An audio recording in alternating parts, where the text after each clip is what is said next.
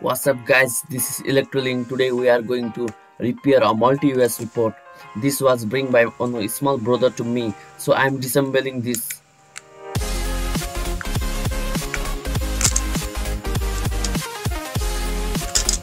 Look guys, it have 4 switches and 4 ports.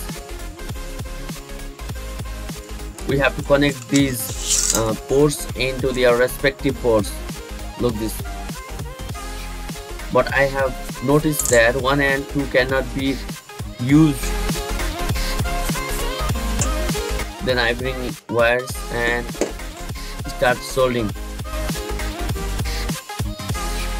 I noticed that 1 and 2 are from there. So we have to attach wire there. And finally I have attached the wire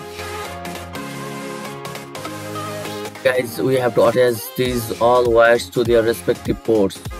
I have attached all these ports and complete my circuit. So let's go for assembling.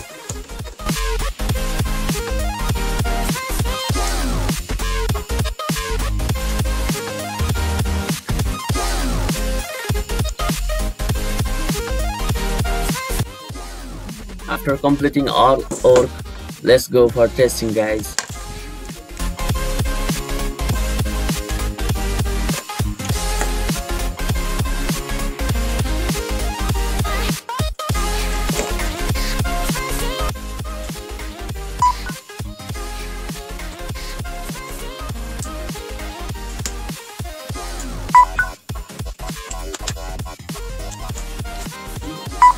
All the ports are working guys